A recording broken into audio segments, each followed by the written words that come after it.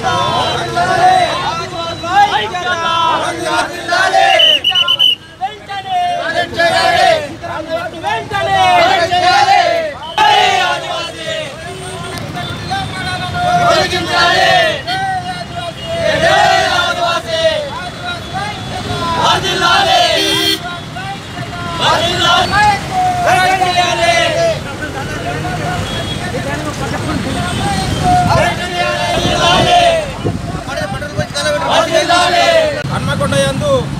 మాజీ ఎంపీ సీతారాం నాయక్ ఇవాళ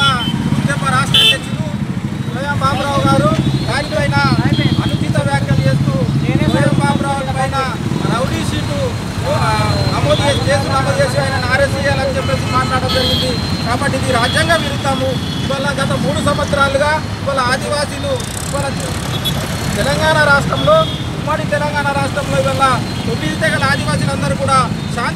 ప్రజాస్వామ్యబద్ధంగా రాజ్యాంగబద్ధంగా ఎవరైతే అక్రమంగా ఇవాళ ఎస్టీ జాబితాలో కొనసాగుతున్నటువంటి లంబాడీలు ఉన్నారో ఆ లంబాడీలను ఎస్టీ జాబితాలను తొలగించాలని ఇవాళ శాంతియుతంగా పోరాటాలు చేస్తుంటే వ్యక్తిగతంగా నేను విమర్శలు చేస్తూ స్వయం బాబురావు పైన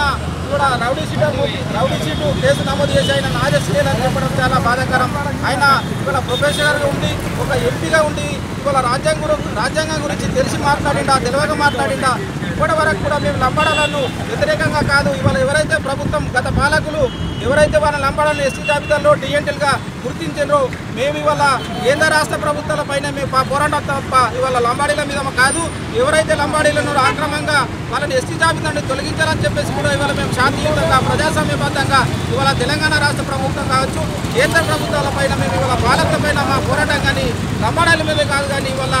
హన్మకొండల ఈయన ప్రెస్ మీట్ పెట్టి ఇవాళ స్వయం బాబురావు పైన వ్యక్తిగతంగా విమర్శలు చేసింది కాబట్టి ఆయన పైన తక్షణ చర్యలు తీసుకోవాలని చెప్పేసి కూడా ఇవాళ ఆదివాసీ హక్కుల పోరాట సమితి ఉద్యమ తరఫున మేము డిమాండ్ చేస్తున్నాం. లేకపోతే ఖచ్చితంగా ఇవాళ దానికి తెలంగాణ రాష్ట్ర ప్రభుత్వము బాధ్యత వహించాలని చెప్పేసి కూడా ఇవాళ మేము ఇవాళ తొమ్మిది తరఫున మేము డిమాండ్ చేస్తున్నాం.